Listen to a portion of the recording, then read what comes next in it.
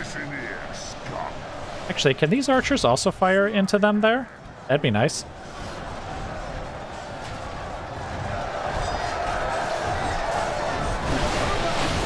The enemy force remains.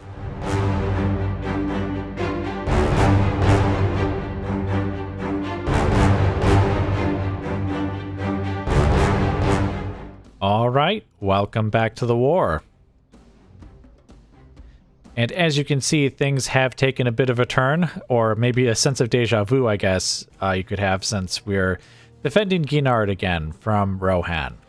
And when I think I last left you guys, basically we had just defeated the Ents at Isengard, and I believe... I think it's only been a couple of turns since then, actually. But anyway, Rohan decided to turn around and besiege Gineard. They finally made up their minds. And of course, it was just when I had sent away like another Reaver unit. So the Hornburg is better defended than ever. But uh, Gineard is now like short a unit or two. I really wish I had the long spears now that this battle's going on, but oh well. It is what it is, I suppose. Um, let's see, is there anything else to discuss on the campaign map? I guess um, I should say I have sort of decided to hold on to Balorn, at least for now. Um, Saruman needed to stay behind just to keep up public order, so I sent Tarzol and his and he's actually now in command of the army to basically go and hunt down some Gondorians that were still in the area, and I think he's chased them all out at this point. Now, if you're wondering who the heck is Tarzol, well, he was the captain that was appointed when uh, Saruman, you know, left the army and he got a man of the hour mechanic after defeating a very small Gondorian force, so he became a general, and so now Tarzol is in command of the army here. Uh, I think I am going to enact the plan that I mentioned last time, where I'm going to leave stout garrisons here at these two forts. Well, I say stout. Four units each. And then I'm just going to take the rest of the troops and I'll either probably dump some of them here, maybe some of them at Balorn, or maybe even disband a couple of the smaller ones, just so they don't cost us much in the way of money anymore. And Tarzol can wander around here and place watchtowers, since this is quite a wide area that we don't have a really good view over. And eventually Saruman should be able to leave. I think I think he's close to being able to leave already, so that should happen soon as well. But anyway, that should be it for the campaign map. It was so short, I just felt we didn't need to explain it after the battle. So let's just get right into the battle. Uh, mostly cavalry. There's a couple of units here. Peasant Militia and the Aorling Spearmen. A Ao Aorline Spearmen? Yeah, I think that's how it would be pronounced. And then we have a couple more cavalry units, Peasant Scouts, and a, some Peasant Militia here. So yeah, we are outnumbered and slightly outpowered, I think.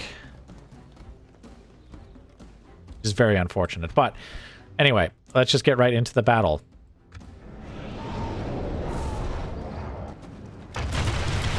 All right, welcome to the battle. Now, I actually forgot about something. Because they only have two infantry units, they actually couldn't use their third piece, or actually two pieces, I guess, of their siege equipment.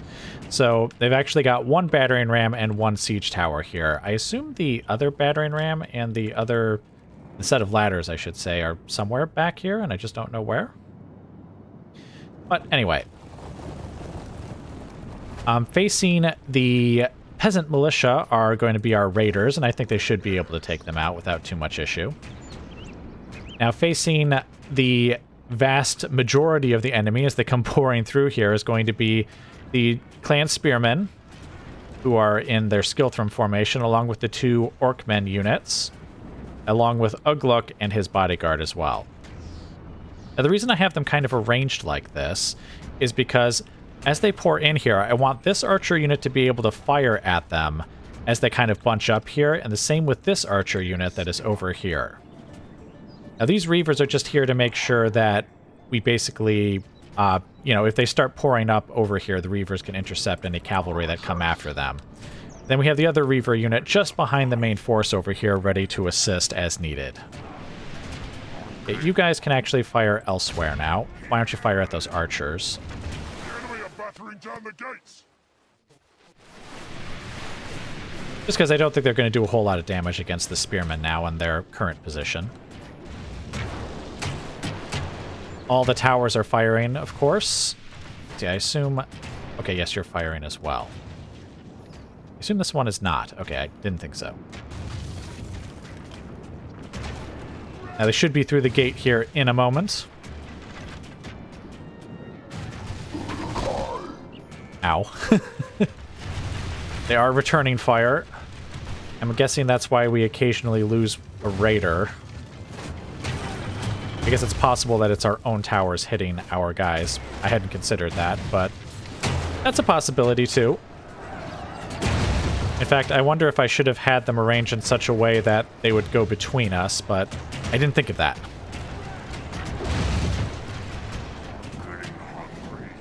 Yeah, that unit's decently damaged. Why don't you shoot at this other unit? Oh, actually, fire at the skirmishers, because I think they're the javelin throwers. I'm pretty sure they can do a fair amount of damage at close range. Peasants, peasants, peasants. Or wait, are you peasants? I guess you look like peasants. that might be perceived as an insult, but um, it's just the facts. It's just the facts. Right now we gotta wait for them to bunch up here. I assume they'll be attacking us here soon. Also, having them a little further away from the gate, I'm hoping the towers will be able to fire into them as well. Yep, get caught, get caught. Good, good, very good. All right, archers. Why don't you start firing here, and you guys start firing here as well. Ooh, the Reavers, I think, are going to take a fair amount of damage. You guys, fire here now instead.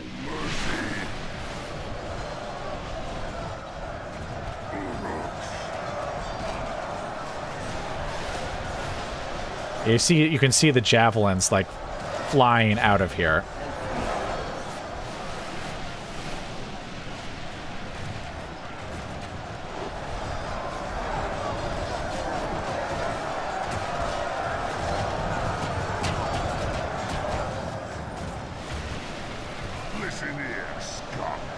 Actually, can these archers also fire into them there? That'd be nice.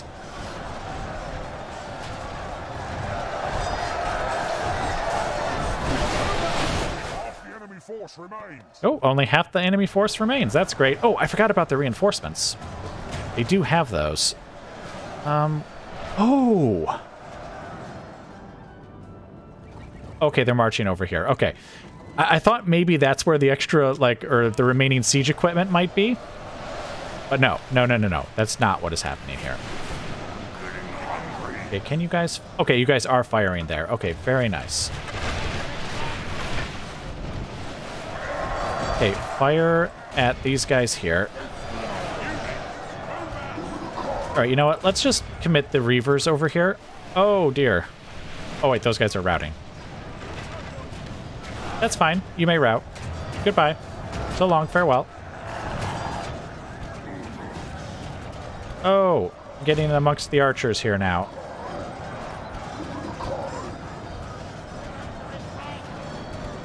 Oh, okay. Actually, stop.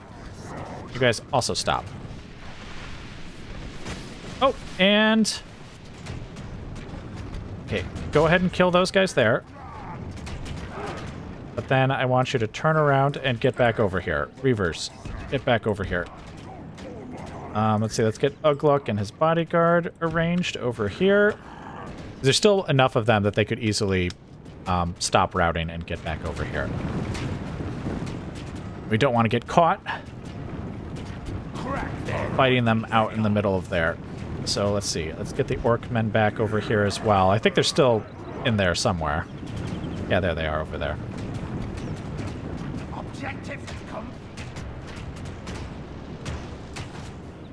Okay, and the raiders have driven the peasant militia here into retreat as well.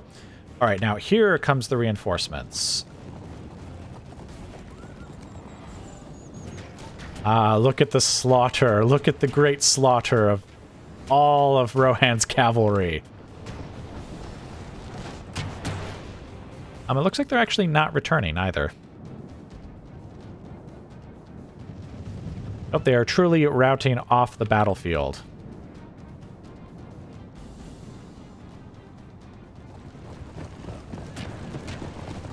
Um, I guess we'll leave the raiders up there for now. Just because I don't know if this tower will stop firing if we take them off, so we might as well just keep them there for now. And basically kind of wait for the same thing to happen. Where basically we just wait for them to bunch up. And then we'll start having our archers fire at them again. Because, I mean, most of these casualties, I think, were but done by the archers, simply because I think the battle, the melee fighting occurred mostly back here, so a lot of these casualties are almost certainly the archers.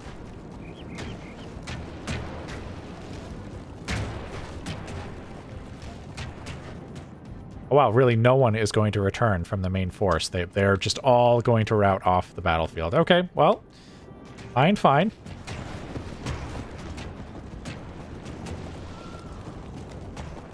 Come on.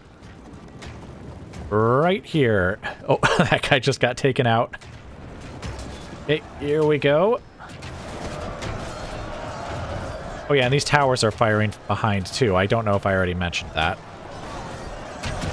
Uh, to be honest, I'm not sure if they're going to be bunched up enough that we can actually have the archers fire at them. Because, I mean, that's most of the reinforcements there. There's going to be another peasant militia unit, but... you know what? Actually, I think we can fire at these guys back here.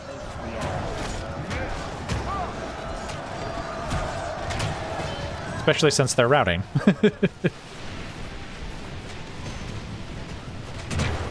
okay, you guys can stop firing now. Alright, let's get the Orcmen back in position again.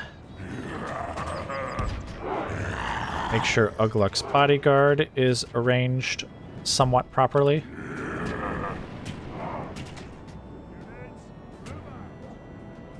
Yep, there's only five of those guys left. Alright, so now this brings us to the, let's see, two peasant militia units, I think? Yes, indeed. I somehow don't think they are going to last very long. Look at how much damage the towers are just doing on their own. Oh, hey, the unit came back. Or one of the units came back. I'm not sure if that's from the reinforcements or if that was from the uh, the other main force, and they're just taking their sweet time to come back. But both enemy generals are dead, so that's great. Come right back in. And be slaughtered anew. And away they go. stay where you are. Don't move. Just uh, let the peasant militia come to us.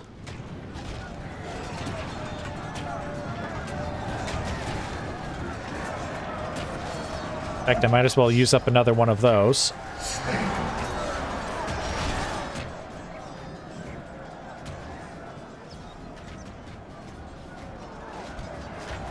All right, archers, fire on them.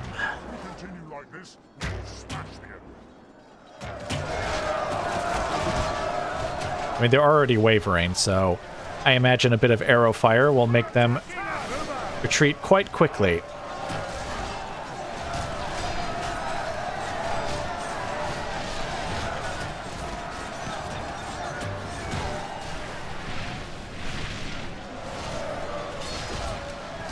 Well, there goes a bunch of them already. I guess it says they're routing. They're certainly taking their time doing it.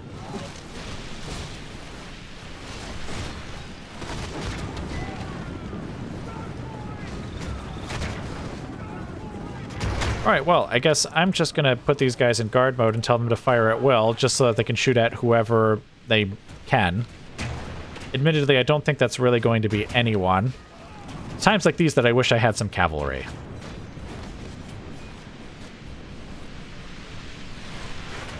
Guess uh, for now, we'll just uh, fire at the peasants as they flee. Let's, uh, let's watch the poor fools. And then uh, once they're out of range of the towers, uh, we'll just call it there. Well, out of range of the towers and our own archers, of course. Oh, no, no, guys. I don't know if turning around there was a good idea. You're actually coming closer to where the arrows are coming from rather than further away. Should probably just kept running in that direction. Are they running back? Oh, wait, what are they doing? What are they doing?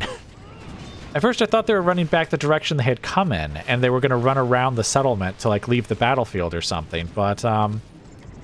No, no, no. Clearly panic is setting in amongst their ranks. Uh, otherwise, uh, they wouldn't be doing this. You know, running back and forth in front of the towers that are killing them. It is decidedly unwise.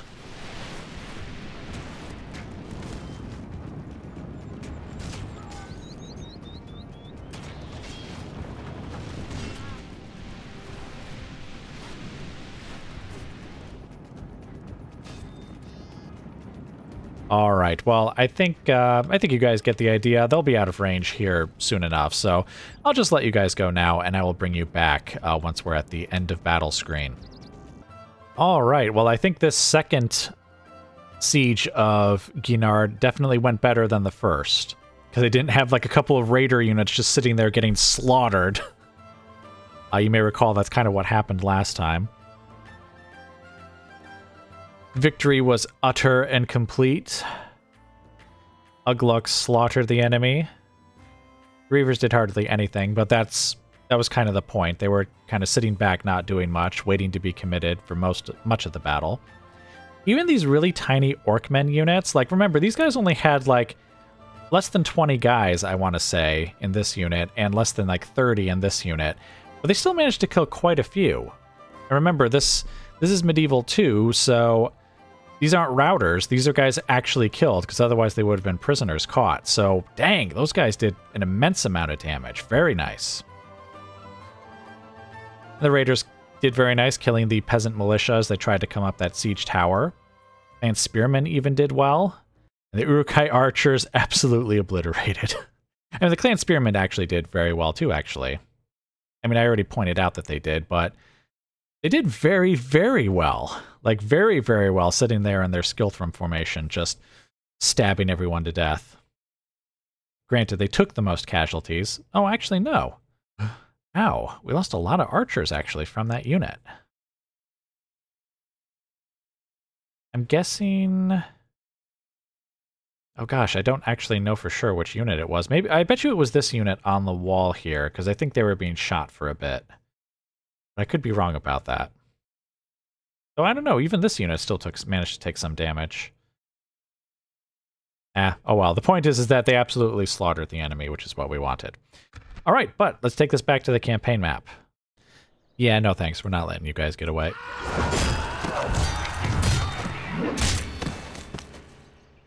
All right, so here we are back on the campaign map. The Rohirrim driven into retreat again.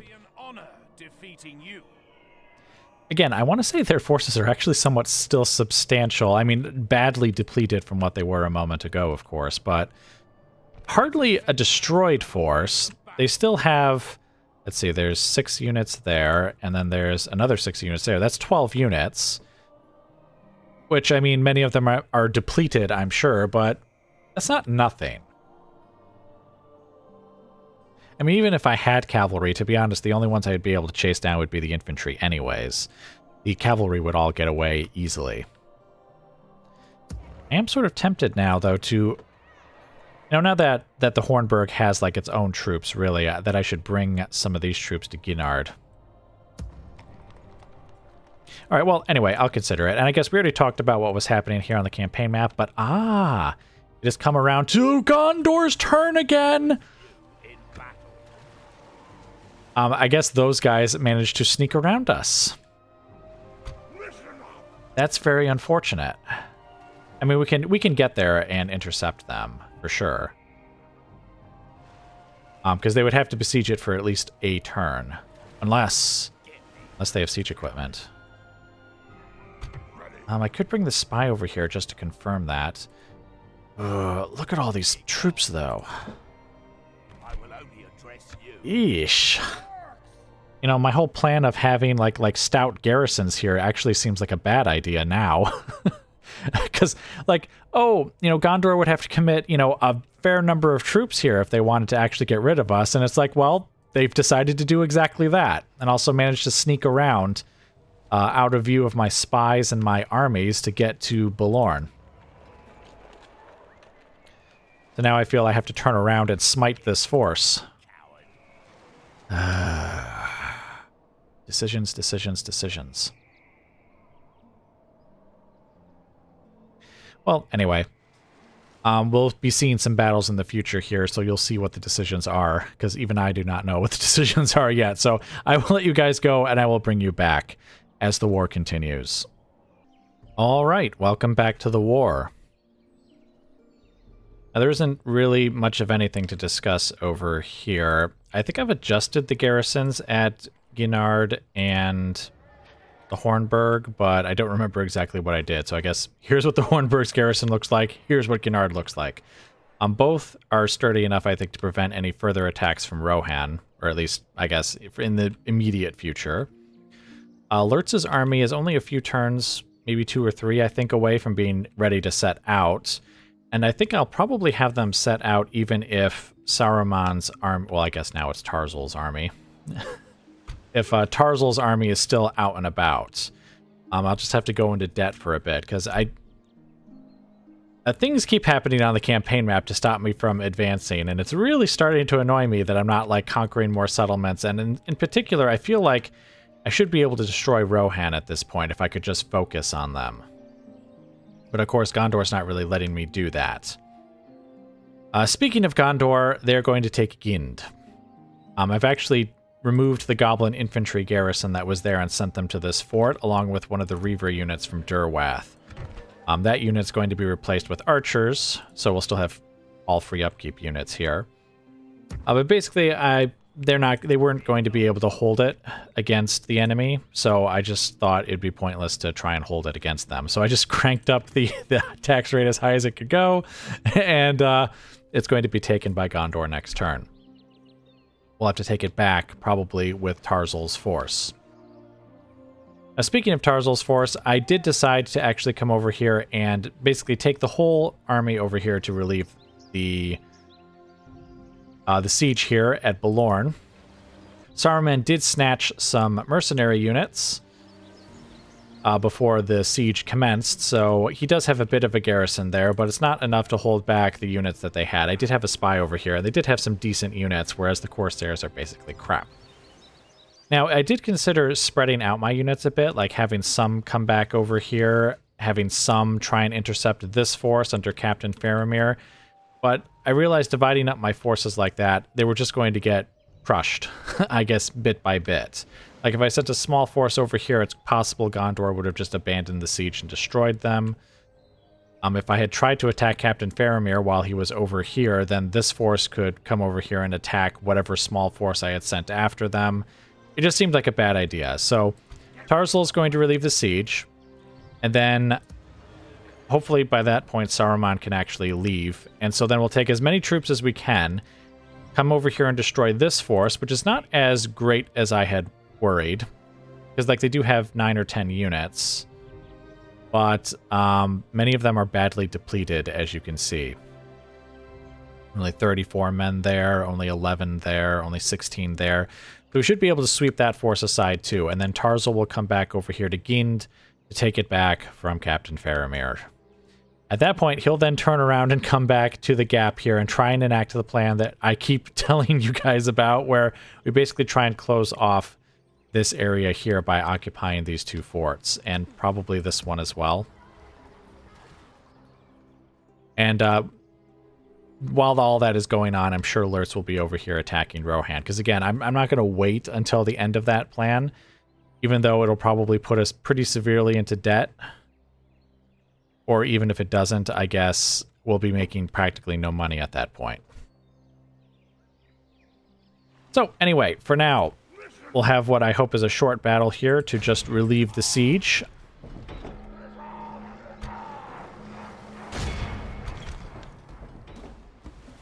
Allow this army to be controlled by the AI. Command this army in battle.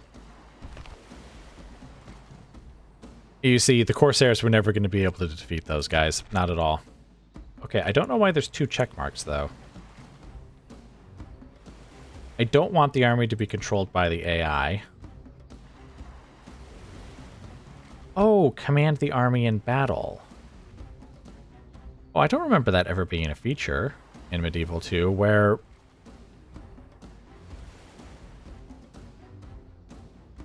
Because if I uncheck this, I can't command the army in battle. So I'm guessing this allows them to still come onto the battlefield, but this checkbox allows me to still control them.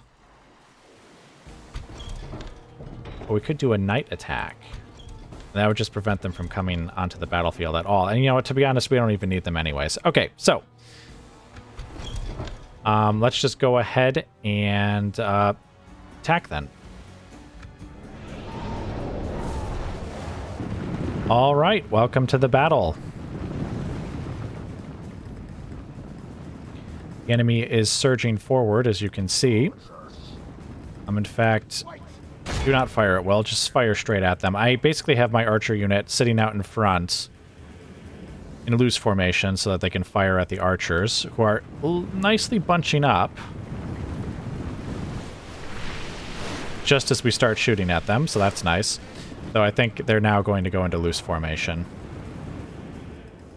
Basically, it's the archers in front, some of the weaker infantry units, plus the general's bodyguard and the sellswords.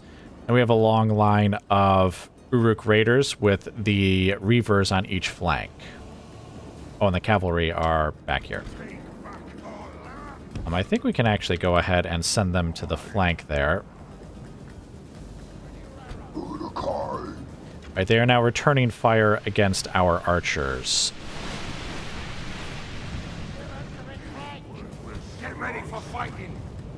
They're managing to hit uh, both of these guys, both units. Alright, well, while this skirmish is going on there... Oh. They're actually deliberately targeting the Orc Hunters, and that would be why.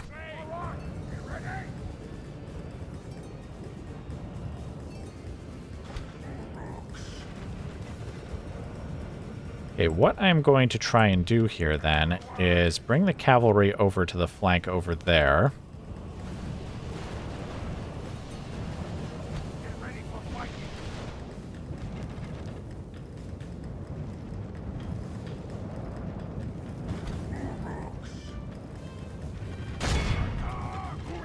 Honestly, uh, their archers are probably better than ours because they do seem to be killing us. So go ahead and stop firing. Cavalry charge in there.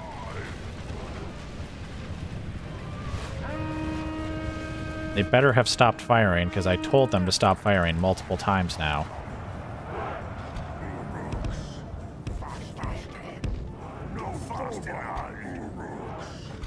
now you guys can fire at will again.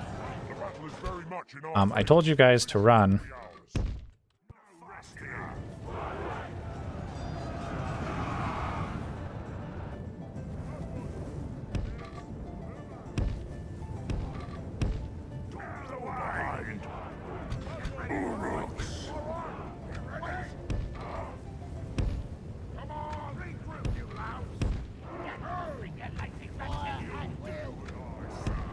You guys retreat. Basically, since the enemy is charging us anyways. And what I think I will do is I will send my cavalry back over to that flank again. For the White Hand! Heavy infantry!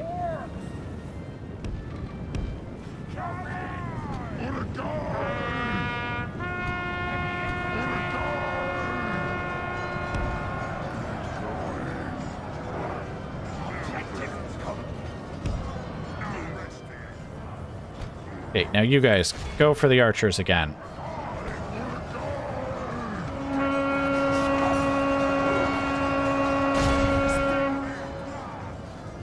Alright, so now we can have some of these raider units get on the flanks over here to get ready to go around the back here. I'll let them have it.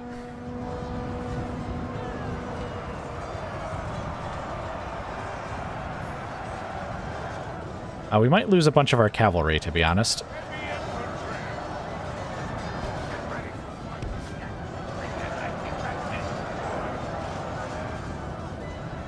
Hmm. In fact, um, apparently the missile cavalry are actually going to do very well, so let's send a unit over there to intercept them. Let's get the sellswords here to charge forward and engage these guys to get them to stop moving. Uh, no, no, no. I told you guys to go around.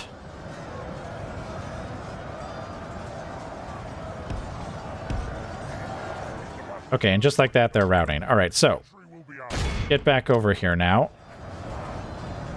Um, I guess we'll let the cavalry just chase them for now. Okay, you guys attack. You guys, uh, why don't you attack the Gondor militia, actually? Well, actually, these guys are taking a lot of casualties. Get in there and attack the Anfalas pikemen. Since they're almost certainly the ones causing that. Oh, and just like that, the battle is over.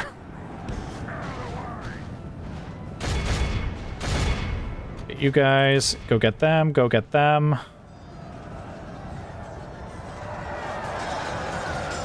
Oh, these guys have started fighting to the death, so let's pull out the swords there. Let's actually pull out these guys as well. I'd rather they just try and rout.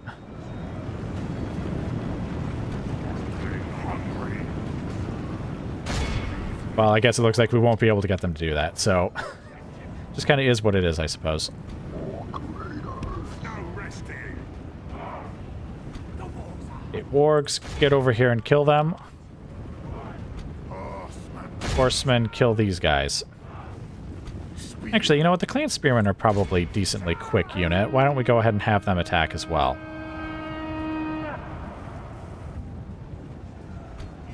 Oh, these guys are now heading towards the raiders, so I guess we might as well tell them to attack as well.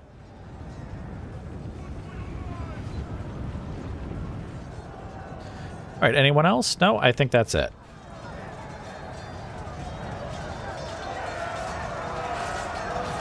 Oh, they're fighting to the death, but we should be able to take them out pretty easily.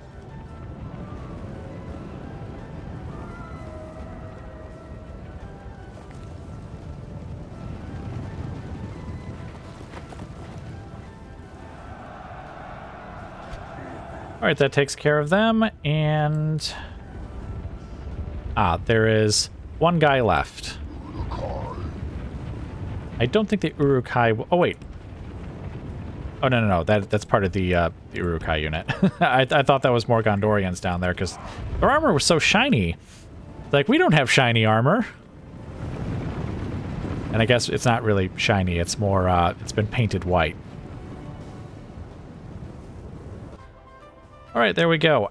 Um, that's actually not very good, but I think it's mostly amongst the units that I didn't care very much about anyways. Like the Orc Hunters, the Orc Fighters, Clan Spearmen. Like, I did deliberately put them in the front so that they would take most of the casualties, so... Yes, we took more than than I expected, but at the same time, um, uh, the the one the units that we that took the casualties were the ones that I expected. So, let's take this back to the campaign map. Yeah, look at all those captured guys. You guys are going nowhere. I don't even want the money.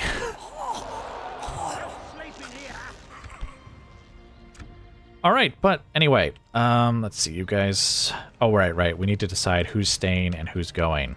And then, like I said, I already explained the plan. Going for these guys, then going to retake Gind, and then trying to like establish some kind of defense here. And then Lurtz should be attacking Rohan soon. So, um, looks like that's going to be it for now. So I will let you guys go, and I will bring you back as the war continues.